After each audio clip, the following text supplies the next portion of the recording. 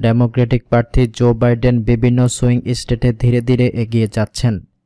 শুক্রবার গুরুত্বপূর্ণ battle ground Georgia ও পেনসিলভেনিয়াতে প্রেসিডেন্ট ডোনাল্ড ট্রাম্পকে পেছনে ফেলেছেন তিনি। তবে এপি ও ফক্স নিউজ অ্যারিজোনাতে তাকে বিজয়ী ঘোষণা করলেও শুক্রবার সেখানে ব্যবধান কমিয়ে এনেছেন ট্রাম্প। মার্কিন সংবাদ মাধ্যমের খবর অনুযায়ী চূড়ান্ত ফল সহসাই জানা যাবে না। কারণ ভোট গণনা এই সপ্তাহ জুড়েই চলবে। তবে এখন পর্যন্ত যে ফলাফল পাওয়া গেছে তাতে প্রেসিডেন্ট হওয়ার দৌড়ে বাইডেনের সম্ভাবনা উজ্জ্বল। মঙ্গলবার ভোট গ্রহণের পর থেকেই জর্জিয়া ও পেনসিলভেনিয়াতে ট্রাম্পের পেছনে ছিলেন বাইডেন। তবে শুক্রবার এই দুটি রাজ্যে ট্রাম্পকে ছাড়িয়ে গেছেন তিনি। এগিয়ে রয়েছেন নেবাদা ও অ্যারিজোনাতেও।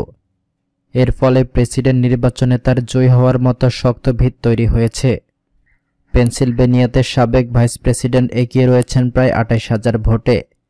জর্জিয়াতে ট্রাম্পের চেয়ে তার ভোট সংখ্যা চার হাজার বেশি।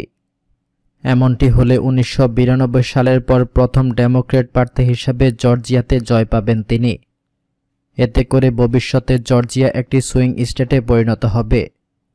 শুক্রবার জর্জিয়ার secretary of state Brad Raffensperger board পুনর্গণনার ঘোষণা দিয়েছেন।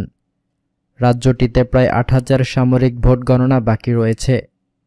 নেবাদাতে তেইশ হাজার ভোটে এগিয়ে আছেন বাইডেন।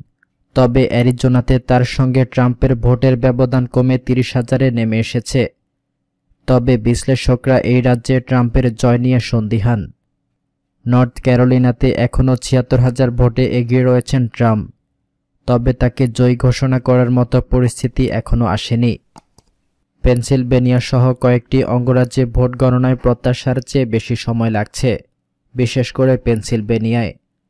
এই রাজ্যে যদি বাইডেন জয় পেয়ে যান, তাহলে প্রেসিডেন্ট হওয়ার জন্য প্রয়োজনীয় দুইশো সত্তর ইলেকটোরাল ভোট পেয়ে যাবেন তিনি। এপি ও ফক্স নিউজের পূর্বাভাস অনুযায়ী বাইডেনের ইলেকটোরাল ভোট দুইশো চৌষট্টি হলেও সিএনএন সহ অন্যান্য জরিপ অনুযায়ী বাইডেনের ইলেকটোরাল ভোট দুইশো তিপ্পান্নটি। এপি ও ফক্স নিউজের পূর্বাভাসে অ্যারিজোনায় বাইডেনকে জয়ী বলা হলেও সেখানে শেষ খবর অনুযায়ী কয়েক লাখ ভোট গণনা বাকি রয়েছে। আর সেই কারণে বিভিন্ন সংবাদ মাধ্যমে দুই প্রার্থীর ইলেকটোরাল ভোট সংখ্যার পার্থক্য দেখা যাচ্ছে। এগারো ইলেকটোরাল ভোটে এই অঙ্গরাজ্যে আদতে বাইডেন জিতবেন কিনা তা নিয়ে সন্দেহ প্রকাশ করা হচ্ছে। তবে এপি তাদের পূর্বাভাসের ব্যাপারে আত্মবিশ্বাসী। ভোট গণনা শেষ না হওয়ার সবচেয়ে বড় কারণ অস্থায়ী ব্যালট। এই ব্যালটগুলো অতিরিক্ত যাচাই বাছাই করা হয়। মহামারী পরিস্থিতিতে ডাক ভোটের সঙ্গে বেড়েছে এই ব্যালটের সংখ্যাও। পেনসিলভানিয়াতে চার হাজার ব্যালট নিয়ে জটিলতা তৈরি হয়েছে। এসব ব্যালট তিন নভেম্বরের আগে পাঠানো হয়েছে, কিন্তু কমিশনের হাতে ভোটের দিনের পরে পৌঁছেছে। রাজ্যের সুপ্রিম কোর্ট নির্দেশ দিয়েছে, শুক্রবারের মধ্যে এগুলো পৌঁছালো গণনা করতে হবে। আদালত গণনার পর এগুলো আলাদা রাখার নির্দেশ দিয়েছে। ভোট গণনার ধীরগতির কারণে আলোচনায় থাকা পাঁচটি অঙ্গরাজ্যে শনিবার কোনো প্রার্থীকে জয়ী ঘোষণা করার সম্ভাবনা কম।